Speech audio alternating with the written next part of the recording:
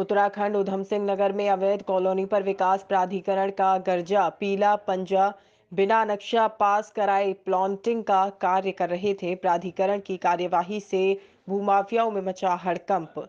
आपको बताते चलें कि वर्ष 2005 में पंतनगर में सिडकुल की स्थापना की गई। क्षेत्र में लगातार 600 फैक्ट्रियाँ इस समय पर चल रही हैं।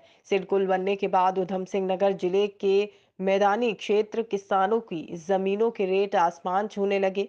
अधिकांश कृषि भूमि पर प्लांटिंग का कार्य होने लगा।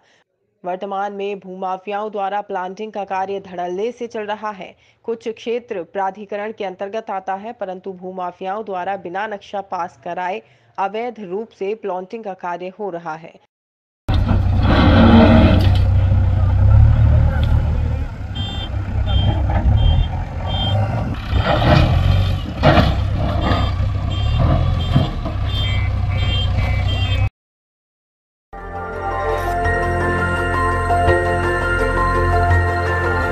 देखते रहिए डीबी भारती समाचार नज़र हर खबर पर।